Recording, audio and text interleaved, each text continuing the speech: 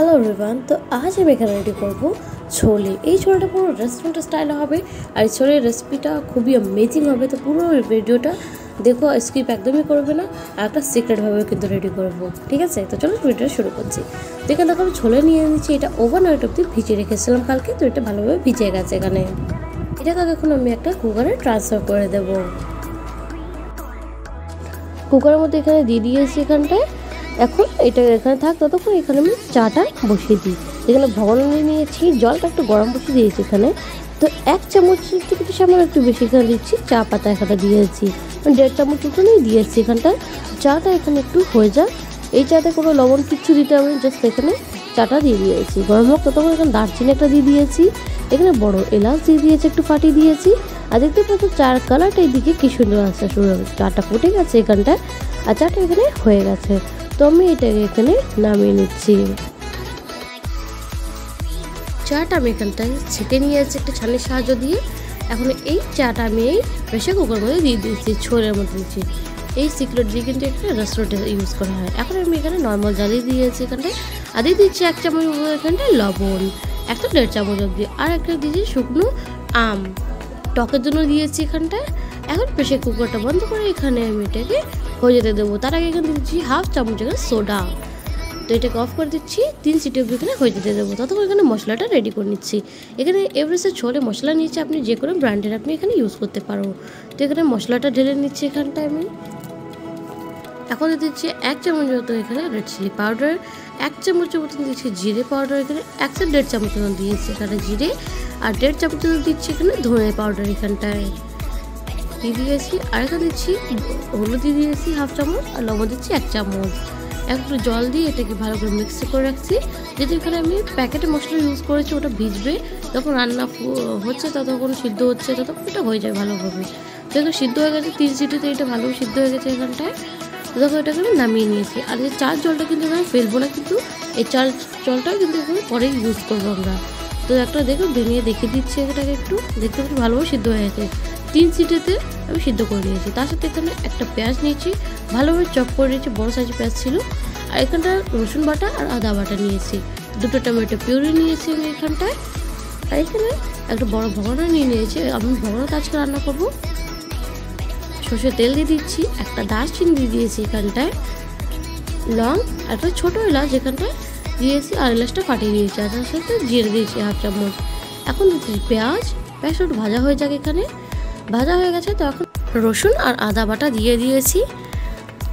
আর এখানে একটু হলুদ দিয়ে এখানটা ভাজা ভাজা করে নেব মশলাটাকে। তো দেখো মশলাটা এখানটা ভাজা ভাজা হয়ে গেছে এখন দিয়ে দেবো যে মশলাটা আমি রেডি করে রেখেছি, সেই মশলাটা দিয়ে দেবো। মশলাটা ভালোভাবে এখানটা ফুলেও গেছে। আর তার সাথে একটু হলুদ, এরপরে আমি একটু দিয়ে দিয়েছিলাম এখানে। এখন বাটি ধুয়ে এখানে একটু সামান্য জল দিয়ে দিয়েছি এখানটায়। এখন ঢেকে দেবো। ঢেকে মশলাটা এখান থেকে হয়ে গেছে। তো রান্নাটা সরিয়ে দিয়েছি। আর মশলাটা এখানে অনেকটাই ভাজা ভাজা এখানে হয়ে গেছে। এখন দিচ্ছি কাশ্মীরি রেড চিলি পাউডার এখানে দিয়ে ভালো করে এখানটায় নাড়াচাড়া করে নিয়েছি। আর মশলাটা একদম দেখতে ভালোভাবে ভাজা হয়ে গেছে। তো এখানে দিয়ে দিচ্ছি এখন আমচুর পাউডার টক হবে একটু টক টক এই জন্য আমচুর পাউডার ইউজ করছি এখানটা। দু চামচ তো ইউজ করেছি। মিক্স করে ভালো করে এখানে ছোলেগুলোকে এখানটা দিয়ে দিয়েছি। এখন ছোলেটা দিয়ে এখানে ভালোভাবে এর সাথে মিক্স করব এখানটায়। মশলার সাথে তো ভালোভাবে মিক্স করা হয়ে গেছে এখানে। এখন যে জল রেখেছিলাম চার জলটা না সেই জলটা দিয়ে দেবো এখানটায় আমি।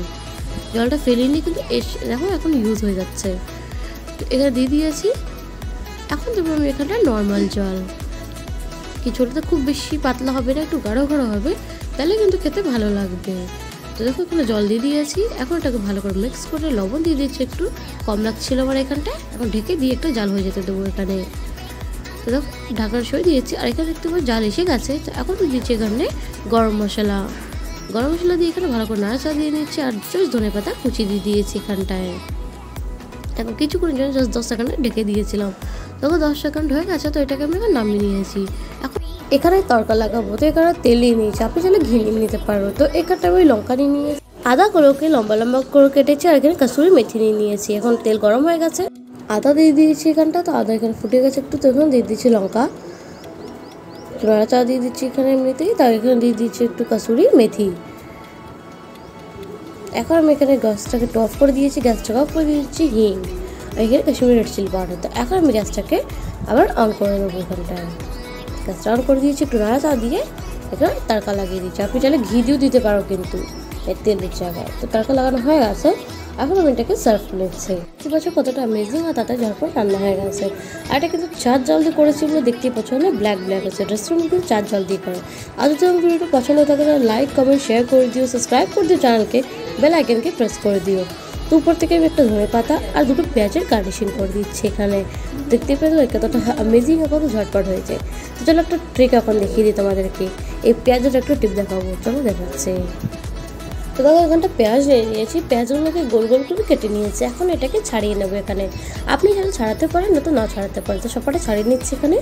আর এখানে তো আমি কচকচ যেরকম পেঁয়াজগুলো অনেক সময় বিরিয়ানি রেস্টুরেন্টে যখন খেতে যাই, তো বিরিয়ানির সাথে যে পেঁয়াজগুলো কচকচ করে না, ঠিক সেই হিসেবে করবে আজকে এরকম করলে। তো এখানে ঠান্ডা এক বোতল, ছোটো এক বোতল জল দিয়েছিলাম, পুরো ঠান্ডা জল এখানে দিয়ে দিয়েছি পেঁয়াজের মধ্যে। এখন দেবে সবটুকু বরফ দিয়ে দেবো মধ্যে। বরফ দিয়ে ততক্ষণ এখানে রাখব, যতক্ষণ বরফটা গলে না যায় জলের মধ্যে। তো প্যাঁচটা ভিজানো থাকবে বরফের মধ্যে এখন চিল্ড জল, তারপরে বরফ দিয়ে। তো এখানে এটা গলে যেতে দেবো আমি এখানটায়।